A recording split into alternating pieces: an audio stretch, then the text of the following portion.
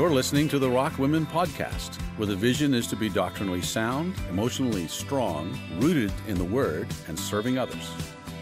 Ladies, welcome back to the Rock Women podcast. We are so glad that you've tuned back in for this second episode on worship. We're doing a six part series on worship. We started last week on this idea of what is worship. We went all the way back to Genesis, my favorite book, I think. Mm. It, it wasn't for a long time, but when mm. you dig in, yeah, a lot of our answers really come. right just come right from Genesis. And so we went there to see who God is, how he mm. made us. He made us in his image and he made us to worship, to represent him and to glorify him on the earth. Lisa, have you been enjoying these episodes on yes, worship? Yes. And as we had uh, referenced in our last podcast that you and I have been really having these discussions for a very long time and seeing how uh, our discussions have continued to grow and grow and we've seen changes and we've been so excited about those changes and so yeah i'm i'm excited about this series that we're doing it's so good. And we even started setting this idea up for this podcast today on corporate worship, probably three episodes ago. And ladies, that episode is called Less is More. And if you have not mm. listened to that, we really encourage you to go back. We even had Pastor Kirk, our senior pastor here at the Rock Church, on to talk about this idea in light of our church and our worship services. Mm-hmm. And so when we are talking about corporate worship, probably many people are thinking, oh, worship, we're talking about music. Mm. But that is actually not the case today. And we did this on purpose, ladies. We wanted to make sure that we know that when we talk about corporate worship, we are not just talking about the music. As believers, when we come together and we gather, those worship services mm-hmm. from beginning to end are designed for us to worship together corporately. In our lives, we do this from the time we wake up to the time we go to sleep that we're doing that personally. But when we come together, these services are mm. designed mm. um, biblically based, right. right, to worship the Lord. And so we are talking today about the corporate gathering. And so when we were talking about less is more as Christians, we said that we live an individual and personal life of worship but we also have, like I said, this corporate mm-hmm. function of worship and with simplicity in mind. Because we talked in Less is More about let's come back to the basics. What are we talking about here? How was the church built? What are the purposes? Mm. So when we with this simplicity in mind as Christians, we have been called into the church, into this gathering not just as individuals living this out by ourselves, but we have been called into the church. And so, ecclesia is the church, mm-hmm. those called out by God from slavery to sin into faith in Jesus Christ by mm. the blood of Christ. Lisa, is there anything that you want to touch on in light of less is more with our services? I was just thinking about the term worship services when you were talking. And when I was raised, my dad being a pastor, um, I mean, wait, when I was young in the 70s and 80s, we would, I would always hear our church services, um, they were referenced by saying worship services. And I think somehow that changed. And I don't know if it's been the last couple of decades because of the quote unquote worship movement. Um, and when I say that, I'm talking about music, where we've taken that term worship and not said worship service, but now we're saying worship the worship part of the service is just the singing. But that's not how it's always been. And so it's exciting to me to think, okay, we're going to actually get back to what it really means, yes. not to what it's become because of some sort of a, a movement that's become popular and that has had some positive things. Um, and we're going to be talking about that in the next few weeks. But I love the thought of worship. And so moving on to where we talk about um, what is corporate when talking about Christian disciplines yes. and is it necessary? So when we think about uh, those Christian disciplines, reading the scriptures, reading the scriptures aloud, praying aloud, hearing the word be preached aloud, being able to give, singing to one another in psalms, hymns, and spiritual songs, encouraging. Those are those Christian disciplines that need to be done corporately that that you cannot replace that in any way. Right. We just can't. Lisa, can I read this because you're you're basically saying this definition. I just kind of want to put it in this little tight box. Yes. I had found this definition, and you're just talking about it, so I just want to kind of add it, it, yeah. right here. Um, randomly found this on like LinkedIn. Yeah, great. and then I read it. I was like, oh my goodness, this is right. And so we're good. just going to use it. Um, and he said, corporate worship is the proper response of a gathered church to the person of the triune God and to his past, present, and future works, especially as they pertain to reigning and redemption. This response requires an accurate understanding of God's greatness and goodness informed by scripture. I just am pausing Mhm. there on purpose Yes. informed by scripture and is characterized by an earnest attitude of awe, devotion, confidence, and submission that results in obedience and service. And what you're saying here, Lisa, the key elements Mm-hmm. is not just music. Here are the key elements of corporate worship public prayers, vocal singing and instrument music, public testimonies, financial contributions, public scripture reading, expositional preaching, observing the ordinances, which are baptism and the Lord's table, confessing faults, and words of spiritual encouragement. And he got this list from the Bible. Yeah, that's so good.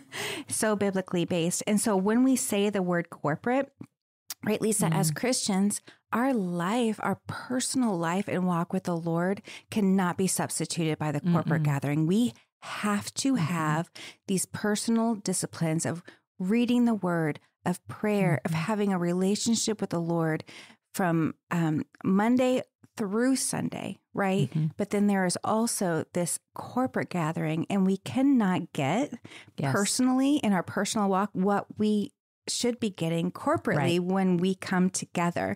And so when we say corporate, we're saying let's come together and do those things that we do in our lives already. We're Mm-hmm. Prepared. We're ready to come together now, and we come together. And so that is where we get this idea of corporate worship. And Lisa, can you read Hebrews chapter 10, verse 25? Yes. Let us consider how to stir up one another to love and good works, not neglecting to meet together as is the habit of some, but encouraging one another, and all the more as you see the day drawing near.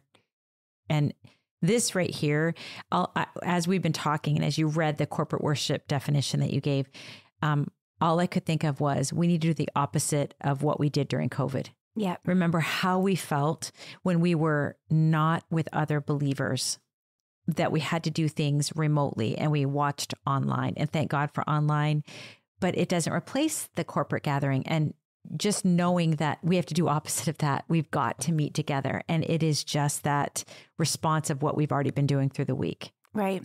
I remember too, like during COVID when we didn't meet together, it was devastating. But I also remember after a few weeks, there became this temptation to be comfortable in it. Like, well, okay, so I don't Yeah. actually have to get ready. I can just sit on my couch. I can just watch from here. I don't have to be any kind of way with anybody because Mm-hmm. I'm just sitting here on the couch. And we needed this reminder. Don't neglect meeting together, right? Yeah. We need to do the opposite of what we did then. totally totally So, Lisa, how should I enter into corporate worship? Because we have a responsibility, right? So, we're talking again about this corporate worship gathering of the church in terms of praying together, in terms of listening in public scripture reading and preaching and song. But do I have a Mm. responsibility when I enter into a corporate setting of worship? And what is that, Lisa? So we have to remember that we, when we are, res- we're responding to God's calling. And so I'm going to read uh, a passage out of the book True Worshippers. We've referenced this before by Bob Kauflin, and it's it's just wonderful. So I'm just going to read a portion of this. And it says, Jesus is God's ultimate statement that he would provide a way for us to worship him, not only in this life, but for all of eternity, where our offerings are tainted with self reliance and self exaltation. Jesus emptied himself to bring glory to his Father on our behalf. Jesus' perfect life, substitutionary death on the cross, physical resurrection, and glorious ascension assure once and for all that those who trust in him can be numbered among the worshipers of God. And that's what I want to just camp on. when we respond to God's calling for us to worship Him, we literally are making the choice to be numbered among the worshipers of God. It's not just Lisa's going to worship God privately, and that's wonderful when I worship God through the week. When I'm reading the Bible and I just meditate on a word and I'm thanking God in my heart, Lord, thank you for life and peace. Thank you for your work on the cross. Thank you for salvation. Okay, that I'm worshiping God privately. But I need to remember that it's more than about me. And that if I want to be numbered among the worshipers of God, it's a response that I have to take. So he calls us first. We don't ever, we, we're never the ones to initiate this. And so this is something that honestly, in my mind growing up, that was never what I thought. And I, I, I just always, it always was man's um, decision and it is both, right? It's both and. God calls, God saves, but we have a responsibility to respond. We have to call upon the name of the Lord to be saved. He doesn't make us do anything, but it all begins with Him, just like in Genesis, in the beginning, God. So in the beginning of worship, it's God. And if I want to be numbered among the thousands, the, among we can't even number the, the worshipers, but if I'm going to be numbered among them, it's my response to his drawing. Mm. And that is something that I had never really thought of. It was always, well, I'm just going to decide that I'm worshiping today. When there's truth there, but I'm going to decide because he's already called me to worship. And when I decide, I'm going to be numbered among the worshipers of God. Right. So it's, it's like, I don't, I, to me, that is, you just got to stop and Selah. You know, it's it, it's a decision that I make, and I want to be numbered among the worshipers of God. And so, coming together corporately, that's part of this. That's my responsibility. I'm going to bring everything that I am doing through the week, and I'm going to not worship in vain when I'm worshiping humbly before the throne of God. I come humbly and I want to represent um, the Lord well and realizing that I am a worshiper of God, that I'm numbered among the saints. It's amazing. It reminds me um, of Genesis, um, where it says throughout, and God spoke. And this is probably not the best way to explain this, but it's like He started the conversation. Mm. He spoke us into being. Yeah. And when we're worshiping, we are responding to that. Mm-hmm. I love that that worship yes. begins with him. And we do have a response, right? We are created to, like we said in the first podcast, Lisa, the last one, we are created to represent and glorify God on the earth. That should be our focus mm-hmm. when we come in to corporate worship, when we come to church.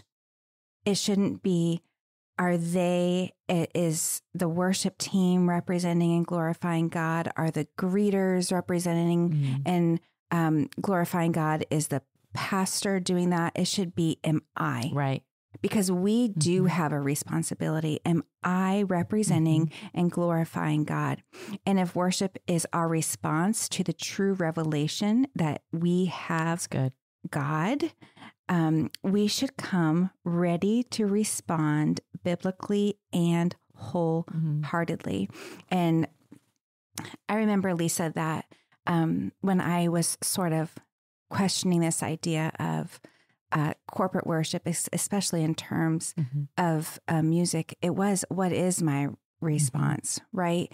And I remember um, because one of my confusions, and I know that we'll we'll jump into this, is this idea of emotionalism. And so it almost made me want to pull back. Mm-hmm. And so, but I needed to be reminded that the Lord deserved 100% of me wholeheartedly. Mm. And it's not dependent on anything that's going on around me, it is dependent on God. Like mm-hmm. you are saying that He is the beginning of that. So we don't wait to see um, if we love the song set, mm. if the sermon is exactly what we're hoping for, or if we feel compelled to give. Remember, we mm-hmm. said giving is a part of that corporate worship.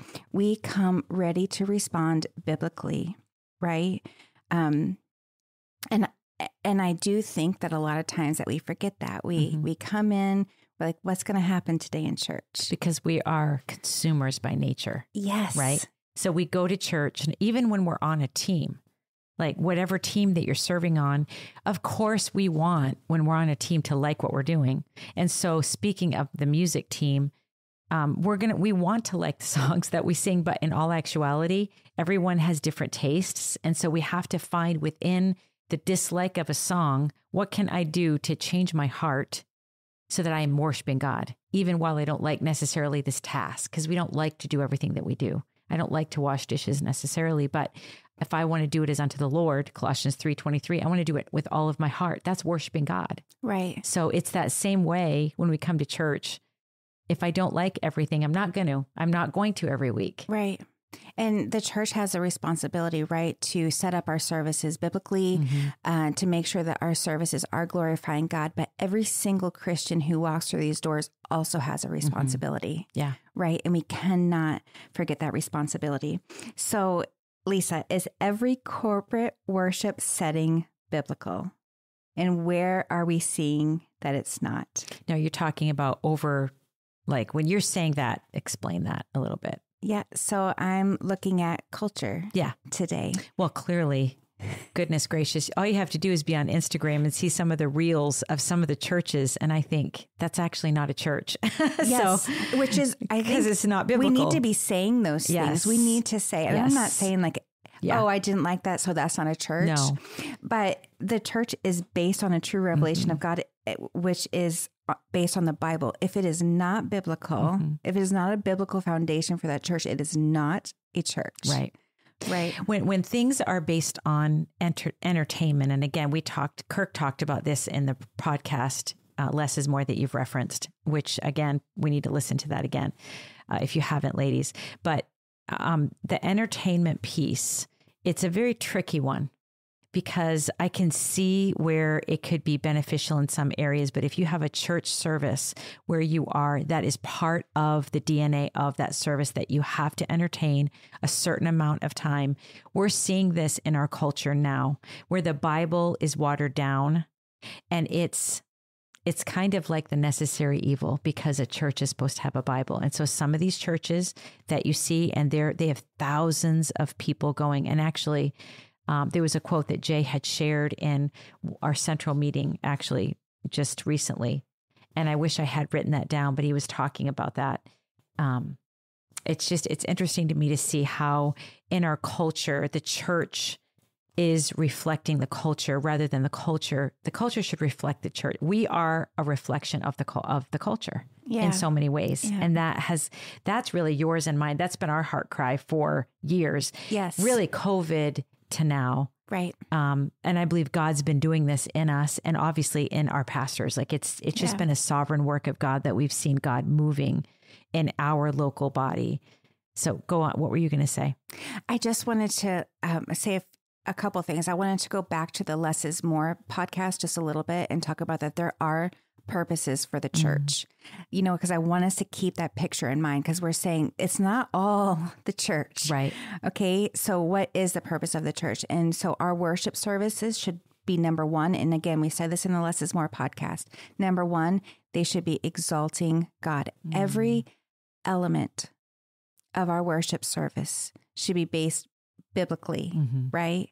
And we should be exalting God we should be edifying believers and we should be evangelizing the lost and all of that built on Jesus Christ, mm-hmm. right? Yes. And have that biblical precedence throughout. Uh, Lisa, so we're kind of getting there a little bit right now. And I know that in the next couple episodes, we're really going to jump into this idea of music. Mm-hmm. And so, and because that has been the, really our topic yeah. for so long, I wanted to just sort of broach that subject a little bit right now of how do we then approach the music portion of mm-hmm. our worship services. And I just wanted to start by reading these first couple paragraphs, and then I was mm-hmm. hoping you'd just go for it. Um, but so, this book is called Worship Matters by Bob Kauflin. And really listening to this book was one of the things that um, helped refocus me mm. when it came to corporate worship. And these two paragraphs specifically really helped me. It says some Christians repress their emotions as they sing. They fear feeling anything too strongly and think maturity means holding back. Hmm.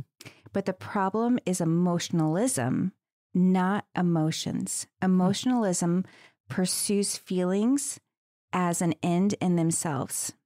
And so mm-hmm. we can, you know, our, our music can be designed, it is designed a lot of times to make us feel certain things and right. to kind of move with that. And I, I did feel myself rebelling against it to the point that I didn't even know how to give emotion during mm-hmm. worship services I, or during the music portion of the worship services. I don't know if that makes sense, but I did sort yeah. of mm-hmm. see myself holding back. Well, because you don't want to be emotional. Right. I didn't I wanted it to be a true response right. and not just that, oh, the music did that. And so now mm-hmm. here I go. And um and so I did. I felt myself holding back and it, it wasn't godly and it was mm-hmm. very difficult. It was a difficult season. Mm-hmm. um, but the Lord really helped me to see some things in there. So emotionalism pursues feelings as an end in themselves. It's wanting to feel something with no regard for how that feeling is produced or its ultimate purpose. Emotionalism can also view heightened emotions as the mm-hmm. infallible sign that God is present. Mm-hmm. In contrast, the emotions that singing is meant to evoke are a response to who God is and what He's done. Vibrant singing enables us to combine truth about God seamlessly with passion for God doctrine and devotion, mind and heart. Mm. And doesn't he deserve it all? Right. He so deserves good. it all. And so when we come, it let's not hold back. And I'm not saying, oh, if you're not raising your hands, you're not worshiping. If you're not the loudest person, right. you're not worshiping. But we are saying, or I am saying, that He does deserve our wholehearted mm. response. And I just wanted to just to quickly say, um, uh, Bob Kauflin kind of gives three, four points actually of how music helps us and I, I, did. I had to re encourage myself on how music mm-hmm. helps us. And so this was so good. So, when music stirs up and expresses God glorifying emotion. That's a good thing. Yeah. Thank you, Jesus. Mm-hmm. Uh, the second thing, music helps us reflect the glory and activity of the triune God. The third thing, music helps us remember truth about God. If our music is biblically based and we are singing the word of God, it's helping us remember mm-hmm. the truth of God. And lastly, music helps us express our unity in the gospel. Yes. And that is so beautiful, mm-hmm. especially when we're talking corporately. Right. when we come together with other believers and we are singing in unity, worshiping mm-hmm. together, mm-hmm. there's so much strength in there. So much strength. And a lot of this you know comes from our background and how and now you know some weren't raised in church many were not but if you were and you were raised in a very um, uh, quiet worship music setting as opposed to maybe someone more of a pentecostal vibrant loud very emotional setting it it is different. And yeah. and we all come from a different perspective. And so then looking at it and saying what does the bible actually say about right. this that is my background. Is that mm-hmm. very charismatic, very emotional. Mm-hmm. Yes, and I I embraced that hundred percent. Right. And I loved it. Same, same. and I'm super thankful for my the roots and how God raised me. I'm super thankful. So much that I learned, so, so much was good, um, but coming from that perspective. And then when you learn truth and you and you see some of the errors just like you i did the same thing where i i was thinking you know i don't want any emotion in that. The pendulum swung. Right. yeah. yeah. But in reality god gave us emotions. Yeah. And we are supposed to feel uh emotions. And when we're singing and when we have that deep like you were saying in the last podcast, and we have that revelation of who God is. We learn in the word, then we're going to respond in mm-hmm. worship. And so usually you feel something. When you love someone, you have some emotion that goes along with that. Uh, this is going to be good. This is going to be good. I am real excited for our next one to dive in yeah. and even talk a little bit even more about emotionalism yeah. and so many other things in our next couple podcast. Ladies, thank you so much for joining us again. We hope that this was helpful. We hope that you either has your Bible open or if you have questions, concerns, that you go to your Bible and you read the word for yourself. Uh, the Lord is faithful right? He is present. He is with us and he his spirit leads and guides us in all things and sometimes it's a season yeah. that we work through things right? Yeah. um, but he is always so faithful. So ladies we hope you have a wonderful day and we look forward to you joining back next time